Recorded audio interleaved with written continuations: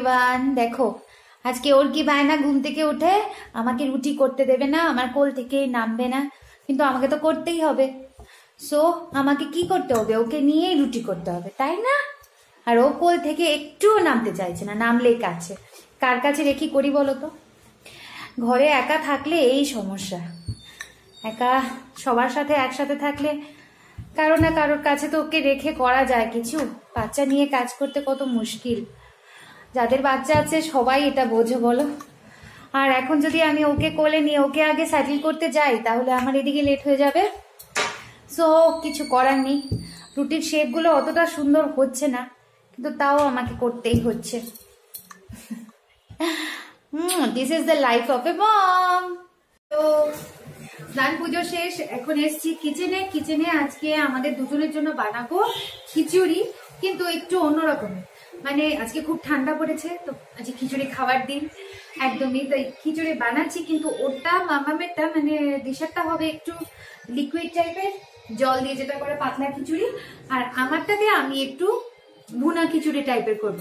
মানে কিশমিশ কাজু আর এগুলো দিয়ে একটু নেড়ে চেড়ে নিয়েছি কারণ আমি দিশার খিচুড়িতে তোমার আহ, একদম অল্প পরিমাণ তেল দিই।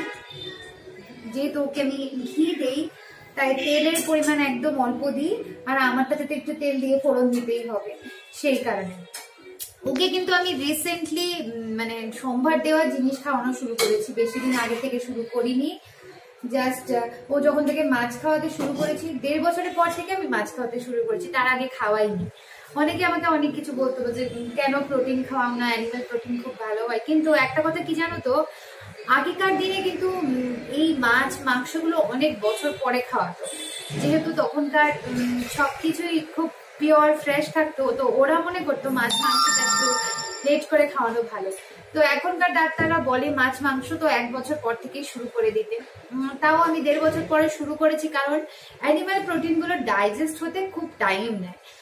সেই জায়গায় যদি আমি ওকে মানে ভেজ প্রোটিন যেগুলো ডাল খাওয়াতে পারি, ডালের মধ্যে তো খুব ভালো প্রোটিন থাকে, ডাল খাওয়াই, সব রকমের ডাল আমি ওকে তো স্যারিলাগো ঘরেই বানিয়ে খাওয়াতাম, সব রকমের ডাল দিয়ে, চাল দিয়ে। তারপর ওকে আমি কিডনি বিনস যেগুলো রাজমা হয়, ওটা খাওয়াই, ওগুলো তো খুব হেলদি চানা খাওয়াই, ওগুলো খুব হেলদি তো ওগুলো খুব ভালো প্রোটিন আছে। সো আমার মনে হয় না অ্যানিমাল প্রোটিনই একমাত্র ঠিক যে ধরে রাখতে হবে। সবগুলো ঘুরিয়ে ঘুরিয়ে খাওয়ালে বাচ্চাদের মধ্যে শক্তিও বেশি আসে এনার্জিও বেশি আসে, আর তুমি একটা চেঞ্জটা বুঝতেই পারবে বাচ্চার মধ্যে। সো সবসময় যে মাছ মাংসতেই স্ট্রিক করে থাকব তা নয় কিন্তু, আমি সপ্তাহে ওকে দুদিন কি তিন দিন ডিম খাওয়াই, এর চেয়ে বেশি খাওয়াই না। কোনো জিনিসই বেশি বেশি ভালো না। আর ফিশ ও যেহেতু ভালোবাসে, তাহলে তাই বলে আমাদের ঘরে আসে বলে মাঝে ওকে আমার ফিশ প্রায় সময়টাই খাওয়ানো হয়। কিন্তু তাও আমি ভেজ কিন্তু অ্যাভয়েড করি না। বেশিরভাগ যখন আমার মনে হচ্ছে যে ও দুদিন ফিশ খেয়ে নিয়েছে, সঙ্গে সঙ্গে আমি আবার ওকে ওই খিচুড়ি বা ও সবজি এখনও সেরকম ভাবে খেতে খিচুড়ির সাথে মিক্স করে দিলে খেতে পারে, কিন্তু আচ্ছা না, রুটির সাথে সবজি দিয়ে সেটা এখনও পারে না। তাও মাঝে মাঝে আমি ট্রাই করি, একটু একটু যেমন একটু আলু ভাজা একটু ট্রাই করলাম, নতুন ওকে তো শেখাতেই হবে। সো এগুলো চেষ্টা করছি আমি দেখি কি কতটা করতে পারি ওর সবজি বানিয়ে খাওয়াতে। এখনও ওকে তো ঝাল দেওয়া হয় না, লঙ্কা ছাড়া করা হয়। সো আমি বেশিরভাগই সবজি ওই শুক্তো খাওয়াই ওকে, শুক্তো তো খুব ভালো জিনিস। ওকে খাওয়াই। সঙ্গে তোমার খিচুড়ির মধ্যে যা পরিমাণে ভেজিটেবল দেওয়া যায়, আমি সব দিই। মানে আমার এটা বলতে পারো, একটা হয়ে গেছে এখন ছোট থেকে এরকম ওর খাওয়াগুলো বানাতে বানাতে। মানে আমারই, ওর যদি কোনো একটা কালার কম থাকে, আমার মনে হয় ওকে আমি একটু কম খাওয়াচ্ছি। সেই কারণে বলতে পারো, আমি সব কালার ইউজ করি সবজিতে। তাই আমাকে তোমাদেরকে বলতে হবে না যে সব কালার মানে তোমরাই বোঝো। মানে গাজর বলতে পারো, কুমড়ো বলতে পারো, আলু, বিন মানে যা যা আছে, এমনকি আমি তো পালং পাতাও দিই সেটাও খুব ভালো। অ্যাকচুয়ালি বাচ্চাদেরকে তো ওদের আবার কি? আমরা আসলে বড় হয়ে গেছি, আমাদের হয়তো রুচিতে প্রবলেম হতে পারে যে এটা খাব না, সেটা খাব না। বাচ্চারা তো বোঝে না না? তো ওরা, ওদেরকে তুমি যা খাওয়াবে এটাই সময়। যা ওদেরকে ইনটেক করাতে পারো ওদের শরীরের জন্য সেটাই ভালো, আর ও এটাই ওদের হ্যাবিটও হয়ে যাবে। তো আমি সবাইকে বলব প্লিজ তোমরা এখন থেকে অনেক বাচ্চাদের থাকে না চার পাঁচ বছর হয়ে গেছে বা স্কুলে যায়, তো মারা খুব বলে যে সবজি খায় না, এই খায় না, লাউ খায় না ওটা খায় না, এটা খায় না। তো এগুলো খায় না কেন জানো তো? ছোটবেলা থেকে ইনক্লুড করা হয়নি, তাই বলে খায় না। ছোটবেলা থেকে যদি ইনক্লুড করে দাও তাহলে অবশ্যই খাবে। আমাকে অনেকে বলতো, তুমি বেগুন কেন খাওয়াও? বেগুন তো অ্যালার্জি হয় বাচ্চা তো ছোট বাচ্চাদের বেগুন দিতে নেই। কেন দিতে নেই? বেগুনও তো সবজি, আমি তো খাওয়াই, ওর তো কোনো অ্যালার্জি হয়নি। সো আমি একটা জিনিস সার্চ করে দেখিয়েছি, আমি অনেক জিনিস পড়েছি এই নিয়ে। বলতে পারো, ও হওয়ার পর থেকে খাবার নিয়ে আমি অনেক কিছু পড়েছি।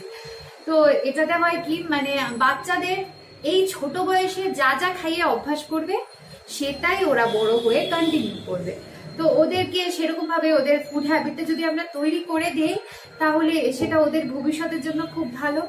তো আমি তো সেরকম চেষ্টা করছি, এখন জানি না বড় হয়ে ও কি করবে। তখন তো ওরও টেস্ট চেঞ্জ হবে টেস্ট বারে নতুন নতুন টেস্ট আসবে। এখন অব্দি তো আমার কাছে সো ফাইনালি অনেক কথা হয়ে গেল। আমি ওর জন্য খিচুড়ি রেডি করে নিয়েছি। আমার খিচুড়িও রেডি আমরা এখন দুজন লাঞ্চ করে নেব। লাঞ্চ করে আমরা একটা লম্বা ঘুম, ঘুমাবো দুপুরবেলা। তারপর আবার তোমাদের সাথে বিকেলে দেখা হচ্ছে। হ্যালো ফ্রেন্ডস এখন আমি বিকেলে আবার এসেছি চার্চে। এটা আমাদের বাড়ির কাছেই, একদম।